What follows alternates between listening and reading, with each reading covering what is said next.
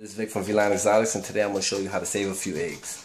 Um, this season I had two eggs from my clutch that started to mold and I actually started cleaning them with hydrogen, hydrogen peroxide and I actually was able to save one. So I'm going to show you my eggs today and I'm going to show you which one I saved.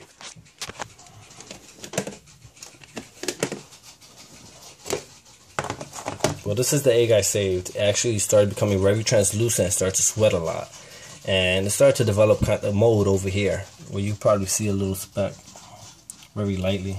But there was another egg that we had over here and um, it actually started molding completely and I had to throw it out.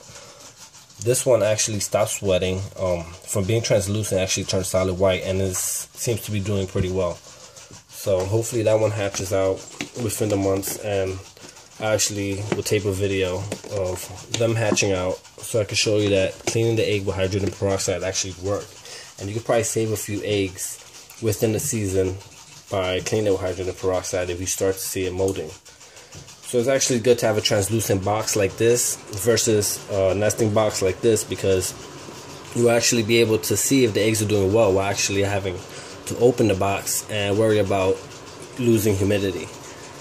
But I hope this video helped a lot. Um, if you have any questions, feel free to comment below and I'll respond as soon as I can. And happy breeding season, guys. Thanks for watching. Bye.